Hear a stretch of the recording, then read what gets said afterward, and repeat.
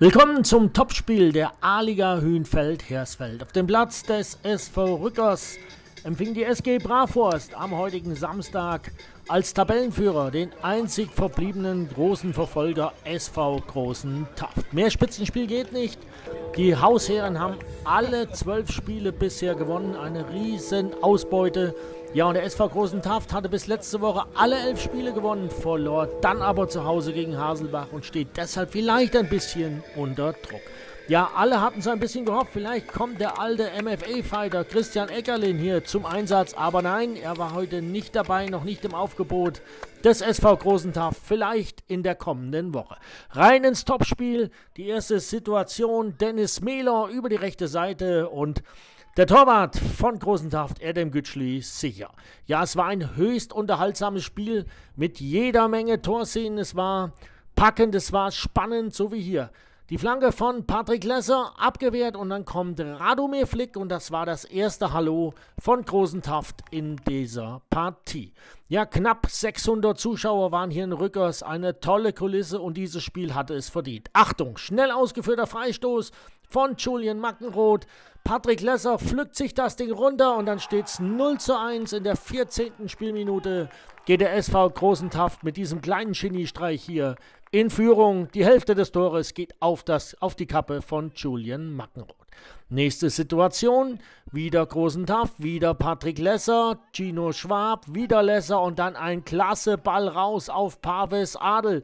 Der hat die Möglichkeit, setzt sich durch, aber klasse pariert von Tom Weigelt im Tor der SG Bravos. Ja, es ging hoch und runter, es gab jede Menge Torchancen, so wie hier wieder Paves Adel, dann abgefangen und dann geht schnell in die andere Richtung. Achtung, der lange Ball gleich, klasse gemacht, die Abwehr ist ausgehebelt. dann marschiert Marvin Rützel gemeinsam mit Dennis Mehler aufs Tor. Rützel macht's alleine und da ist der Ausgleich. Mitte der ersten Halbzeit, 26. Minute. Und damit sind wir wieder bei drei Punkten Vorsprung für die SG Bravhorst angekommen. Aber Großentaft wollte natürlich hier unbedingt den Rückstand ja verringern. Man wollte ausgleichen nach Punkten wieder und so spielte man hier auch. Ein Offensivspektakel für die Zuschauer und dann klasse gemacht der Ball in die Mitte und da steht Chino Schwab nach Patrick Lesser, der zweite Altmeister, der heute zuschlägt. Gespielt 32 Minuten und jetzt liegt der SV Großentaft 2 zu 1 in Führung. Stand jetzt nach Punkten ist man pari. Ja, und dann gab es etliche so Halbchancen noch hier vor der Pause und schließlich noch diese Szene, die letzte Situation der ersten Halbzeit. Klasse Ball von Steffen König nach draußen. Der Ball in die Mitte, aber dann kommt wieder Gütschli vor Julian Helm. Pausenstand 2 zu 1 für den SV Großen Taft. Normalerweise würdet ihr an dieser Stelle einen lustigen Werbesketch sehen. Aber beim Thema Nachhaltigkeit machen selbst wir keine Witze. Und deshalb freuen wir uns, Holzbau Gutmann als Partner gewonnen zu haben. Denn Holzbau Gutmann baut nicht nur schöne, sondern auch nachhaltige Häuser. Ihre Häuser sind energieeffizient, nutzen erneuerbare Energien und setzen auf umweltfreundliches Material. Mit Holzbau Gutmann gestalten wir gemeinsam eine grünere Zukunft. Also wenn ihr gerade auf der Suche nach eurem Traumhaus seid, besucht gutmannhaus.de.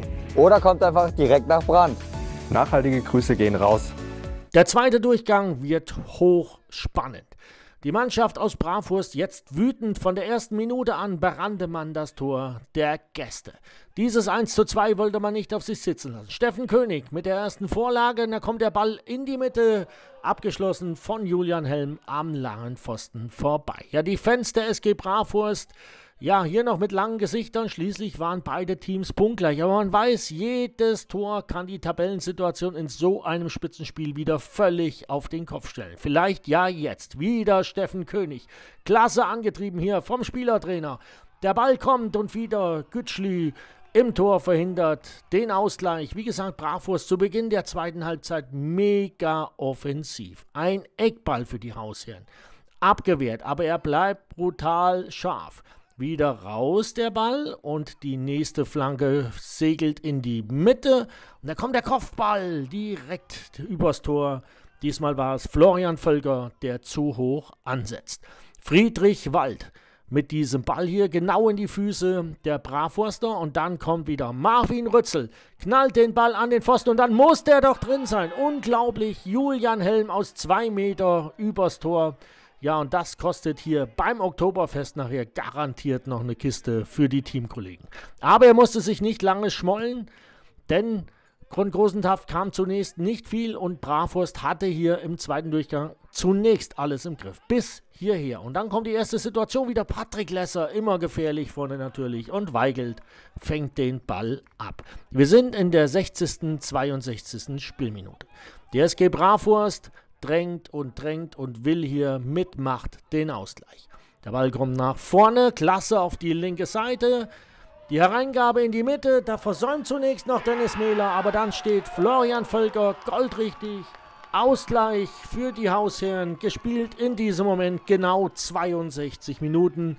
Und da sind es wieder, drei Punkte Vorsprung in der Tabelle. Bra äh, Bravurst jetzt mal wieder im Rückwärtsgang. Patrick Lesser hier, immer wieder an fast jeder Szene nach vorne war er natürlich beteiligt hier. Der Routinier und Achtung, er fällt ihm vor die Füße, aber kriegt nicht mehr genug Druck dahinter, sonst wäre vielleicht hier großen Taft wieder in Führung gegangen. So aber die entscheidende Situation. 69. Spielminute, Freistoß für die SG Bravurst. Zunächst abgewehrt. Und gleich kommt der zweite Ball in die Mitte. Den pflückt sich jetzt Florian Völker mit der Brust runter. Wird er von hinten geschoben? Ja, die Tafter sagt nein, aber Bravurst sagt ja. Und auch Schiedsrichter Hendrik Paris sagt, das war Elfmeter. Strafstoß in der 69. Minute für die SG Bravurst. Marvin Rützel legt sich den Ball zurecht und schnürt den Doppelpack. Spiel gedreht.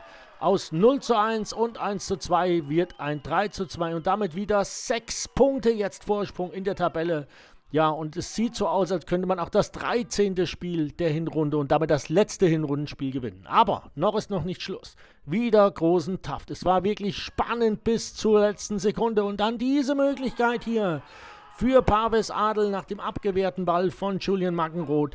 Fast das 3 zu 3. Wie geht es weiter? Schafft Großen Taft hier noch den Ausgleich? Die nächste Situation. Patrick Lesser, aufgepasst hier. Im Zweikampf mit Benjamin Reit. Gelb verwarnt und jetzt steigt er ihn von hinten in die Hacken. Ja, Paddy, da brauchst du dich nicht zu beschweren. Mit 10 Minuten Zeitstrafe bist du hier gut bedient. 10 Minuten runter. Der Spielertrainer von Großen Taft, das war die 78. Spielminute. Aber kaum war Patrick Lesser wieder auf dem Feld, da erwischte es einen von der SG Bravos, nämlich Dennis Mehler. Hier aufgefasst auf den Neuner von, ja, Bravwurst und das gibt dann natürlich 10 Minuten. Das ist unsportlich. 89. Spielminute und die letzten Minuten samt Nachspielzeit jetzt also großen Taftenüberzahl. Ja, passiert hier noch was?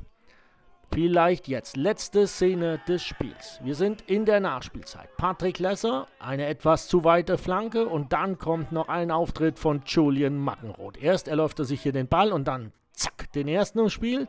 Und zack, am zweiten vorbei, der Ball in die Mitte, schafft Großentaft hier noch das 3 zu 3. Patrick Lesser abgewehrt. Der zweite Ball aus dem Hintergrund. Es bleibt mega spannend und dann ist Schluss hier. Aus und vorbei. Die SG Bravwurst gewinnt das Spitzenspiel der A-Liga Hünfeld-Hersfeld und jetzt brechen hier alle Dämme.